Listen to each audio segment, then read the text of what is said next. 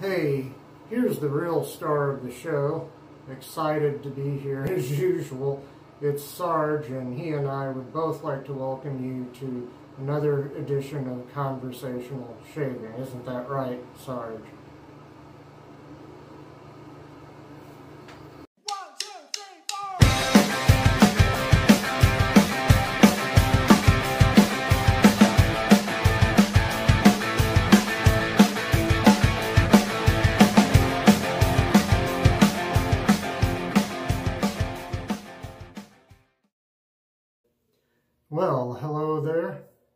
Already prepped my face with Village Barber shaving oil. My razor today is going to be this twist to open one piece. It's a Gillette uh, Slim Adjustable. Um, and I'm going to keep it on the number 5 setting, I believe, all the way through. I don't know if you can see that, but there it is. I can kind of see it on the monitor there. And my soap is going to be this uh, Derby Premium shaving soap. And uh, I've read, and I, have used this once before, right after I got it a week or two ago, but um, I haven't used it on camera yet. I've read that this is a little bit stronger in its scent than the regular Derby. I do have some of that in the green tub. When I used it before, I couldn't tell a lot of difference, but it was still a decent soap. I'm going to use it today. And I've already lathered my brush, the KC Shave Company Silver Tip Badger brush. And let me see, let me run a little bit of hot water here. Uh, yeah, I got Sarge the cat in here. He's not too sure if he wants to be in here while I shave, but he's down there on the floor. Hi, Sarge. Good boy. The reason I'm running a little water is I want to just wet this uh, just a little bit and start trying to put a lather on my face. Got almost three days worth of growth here, closer perhaps to 2.5 days, I don't know. No, it's pretty close to three days, within a couple of hours anyway. Here I go. Hope you're all doing well out there this week.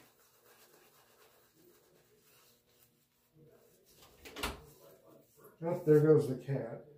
Are you gonna, are you gonna leave me? Yeah. Huh. I thought I had the door all the way shut, but I guess it didn't click. So the cat said enough of this.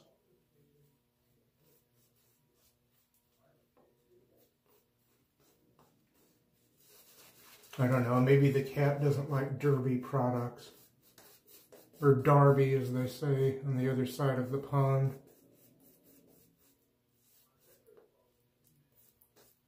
Mm-hmm. Just getting lathered up.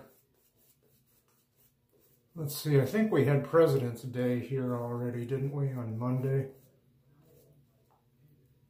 I think uh, all of the major countries had some kind of holiday this month, some kind of bank holiday, post office holiday.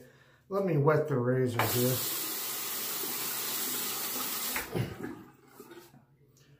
Okay, here we go, pass number one with the grain. Oh, I forgot to mention, silly me, in there on its first use is a Derby Premium blade to kind of go along with the soap, I guess. There is, or at least there used to be a vendor, one or two of them on Facebook, that if you ordered a few blades for them, they sent them to you in these little uh, these little envelopes, uh, what do you call these things? I can't think of the name right now, but and then in there they would cut just the top or one side off the top and put that in there and then your blades are behind that. So I had ordered different blades from that vendor and then I began ordering some from tryablade.com who I also highly recommend.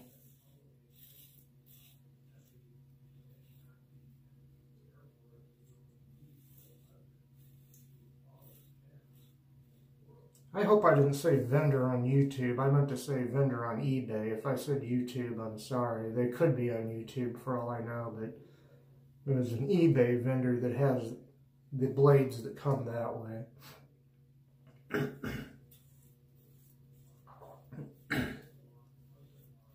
With just one card or paperboard side of the tuck.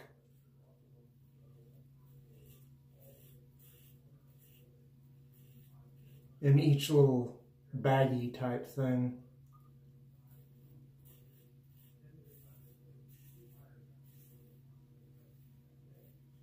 Okay, I'm going to rinse the razor. so far, this is a comfortable shave, and I think maybe it is possible that this this stuff in the black, the Derby shaving soap in the black tub, uh, that seems to be marketed more towards barbers and people that own salons. Um, it might be just a slight bit more um, strong in its scent than, than the soap that comes in the green Derby uh, container.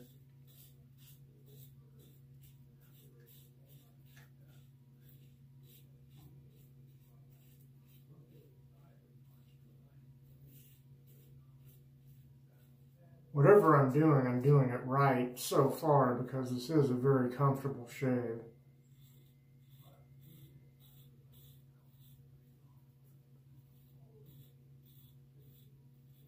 And it seems reasonably close so far.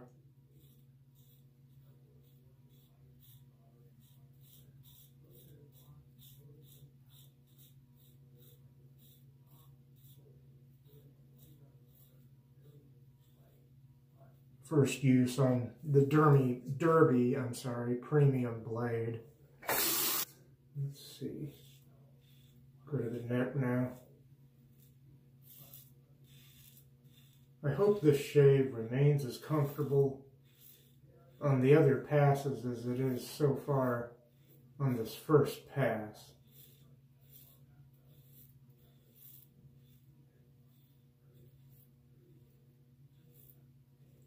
Got the TV on in the other room. I don't know if you can hear any of that. I'm watching true crime shows presented by YouTubers another genre of YouTube.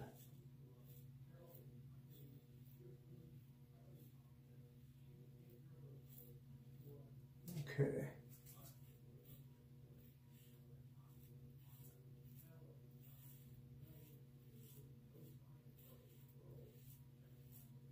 I think I'm applying just the right pressure for this shave, uh, not being too heavy-handed soap is drying a little bit right there. You might even see little flakes of it flying around here and there.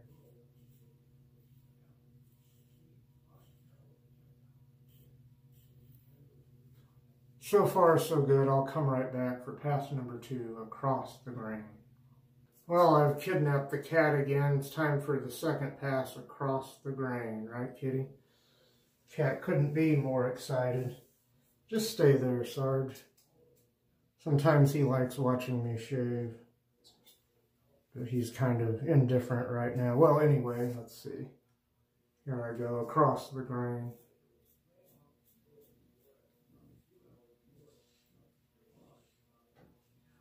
Still on the number five setting on the Gillette uh, Slim Adjustable. early 70s vintage on this razor. I forget exactly what year. 72 or 73 perhaps. When the head of the razor was still entirely made of metal. At some point, this part, but not the doors, became plastic, I believe. Anyway, over to the other side here. Now I'll just go ahead and use my left hand here.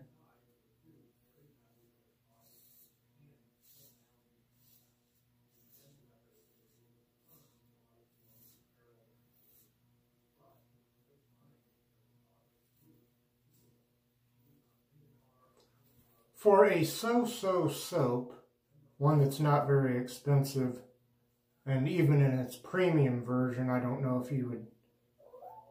Yeah, that's right, Kitty. I don't, I, I don't know if you'd call this a great performing soap, but on this shave anyway, it's performing pretty well. I didn't pay a lot of attention the first time. I must have been in a hurry or something. Excuse me.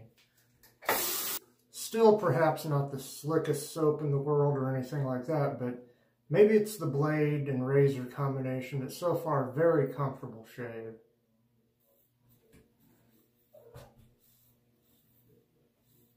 Kitty, what are you doing?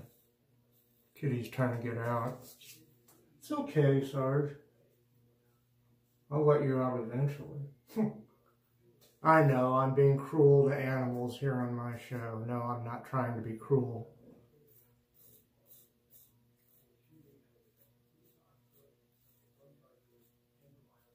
Because sometimes Sarge will go out, then he wants to come right back in. All right, kitty, hold on. You're breaking my heart down there.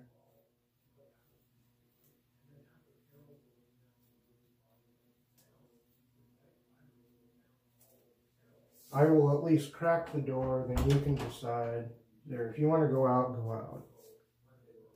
I think he's going to leave. I'll be right back. Okay.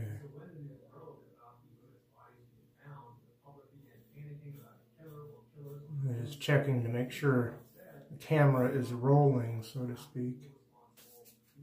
Uh, cat. I went ahead and shut the door. I don't think anybody wants to hear my true crime show playing in the background out there. Some younger YouTube gentleman who has some particularly disturbing true crime, uh, real true crimes that he uh, talks about. Okay, over to this side.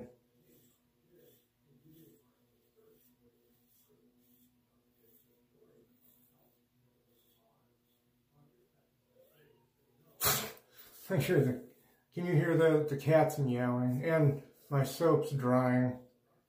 Once it's been on the face just a while, it starts drying and getting flaky. I guess I'm a little flaky too.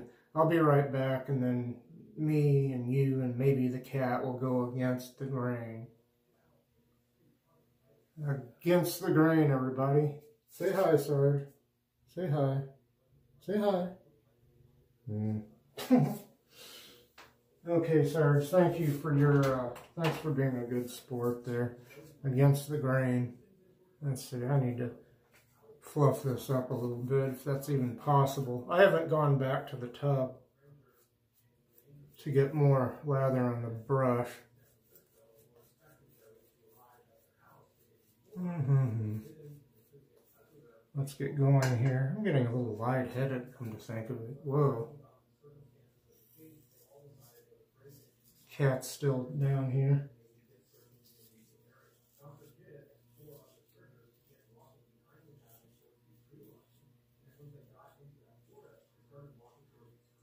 I'm just going to shut the door so that, oh, there goes the cat. Cat has had enough of this, let me tell you. I suppose there are people that say I'm being a little cruel to that cat, but nah, that cat is really pretty spoiled if you want to know the truth.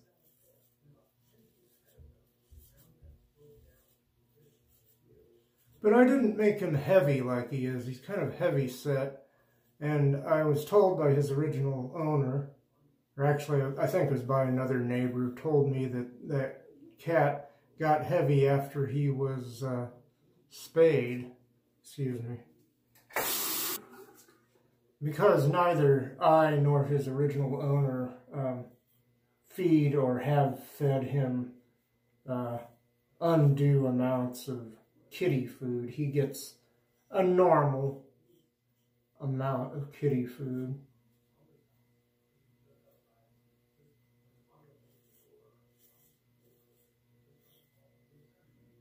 So, yeah.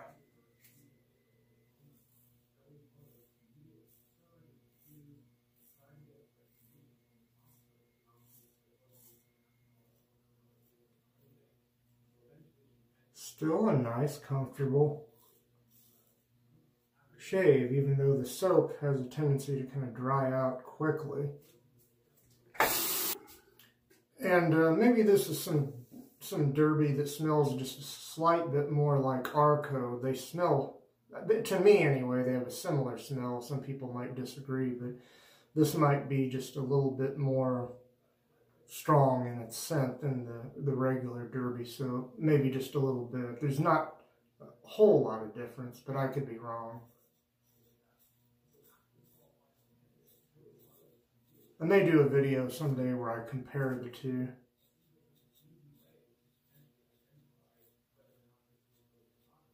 There may be no difference at all. Uh, it could be just that uh, different color packaging for the same product.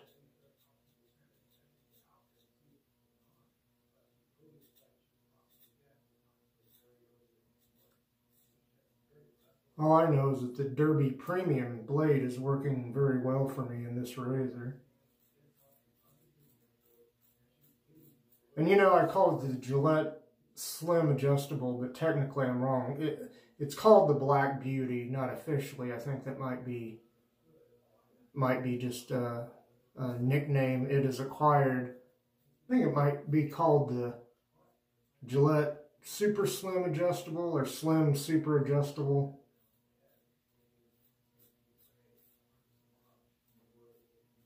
All I know is that I wish it were still made.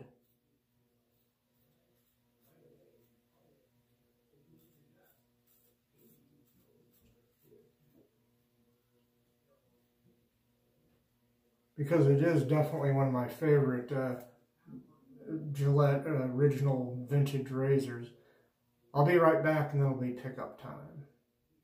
Well, I just had to get Sarge again because uh, Here's the crazy magical clock and it's pickup time, everybody. What do you think about that, Sarge? the looks on his face are priceless, but I just love him to death. This cat, he's such a cool cat.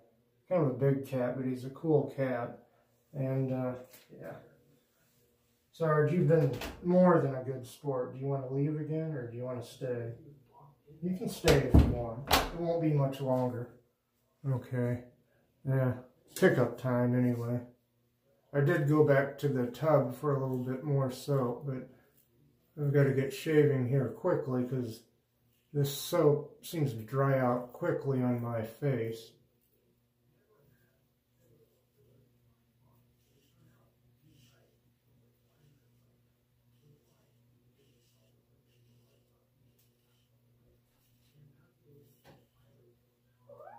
Yeah. Hey, Sarge. Sarge, you just don't know what you want, do you? Mostly you want out. Sometimes you want back in, but I think today you mostly want out. I think Sarge doesn't like being confined, but I keep closing that door so that the, uh, I guess I could have just turned my TV off, but, uh, Sometimes I leave it on so all the neighbors don't have to hear me in here talking to myself in the bathroom. Um, that's about all I'm going to do right now. And, uh, yeah, that, that is at least the higher upper echelon, upper end of a DFS shave. Very close to BBS. And, uh, yeah, I'm going to go ahead and rinse the razor.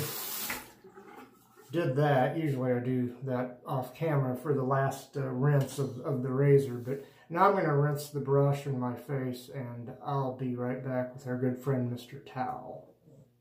Say hello to our good friend Mr. Towel.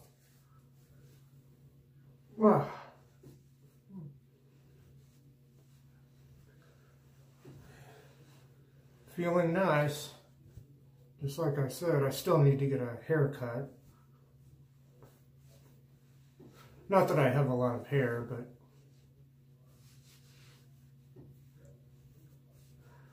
Could definitely use a trim on the sides and the back.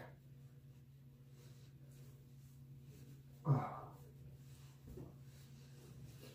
Okay, I'm going to put Mr. Towel back where he goes, and then I'm going to start a brief recap and put the finishing touches on the shave here. And Mr. Towel over here. Very nice. Now, I prep my face before the shave off camera with Village Barber shaving oil.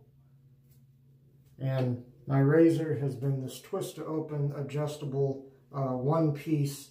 It's the Gillette Black Beauty. That's what I know it as. I think it might also be the super slim adjustable or something like that. I'll try to put something down here to show what it is or I'll put it in the description. And um, my soap has been this. It is the Derby Premium shaving soap in the black container. And that's why I also used a Derby Premium blade in the razor on its first use. Okay. And my brush has been this KC Shave Company Silver Tip Badger brush. Kind of a shame that they're no longer in business. And okay. Okay, now I'm going to apply some of the T.N. Dickinson's Witch Hazel which is an astringent because it's 14% alcohol by volume. So get some of that going in the hands here.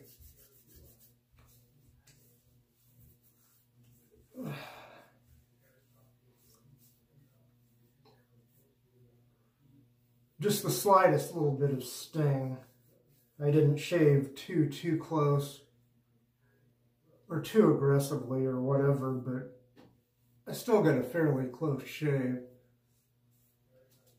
And there's some of that that feels nice. The uh, T.N. Dickinson's Witch Hazel seems to be available all over the Western world. And anyway, uh, something I haven't used in quite some time. It's a cheapie, a knockoff. It's, um, well, let's see, it's from Family Dollar, I believe it is.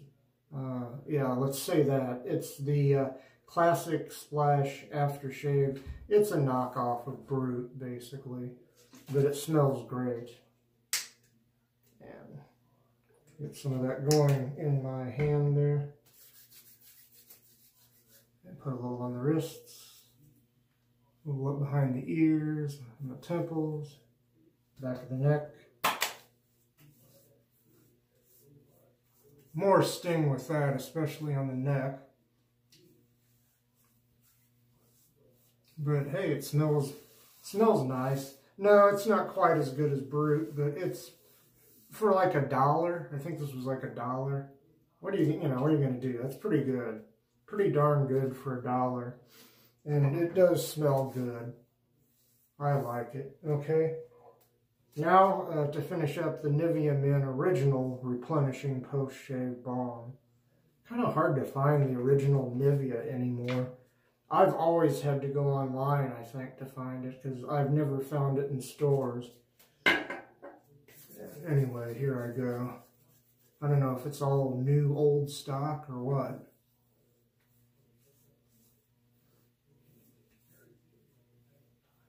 There's a light scent to this. Goes well with just about everything.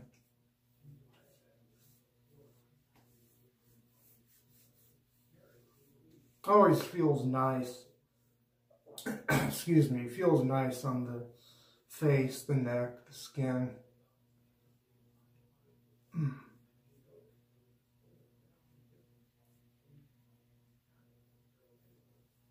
As has, as has been said more than once and probably by more than one person, uh, this stuff's so great you you could like, you know, use it as a body uh, balm or, or whatever. It's nice stuff. And I have one more bottle left. I gave away a bottle, and I hope when this one, well, I hope when they're all done, the, the two that I have left, I hope I can find more online. The Nivea Men Original Replenishing Post-Shave Balm. Well, that's it, folks. Uh, thank you for joining me. If you've uh, held out this long, uh, watched this far through the video, thank you again. That's uh, double props to you. And speaking of double props, peace to all of you, and hopefully we'll see you back here next week.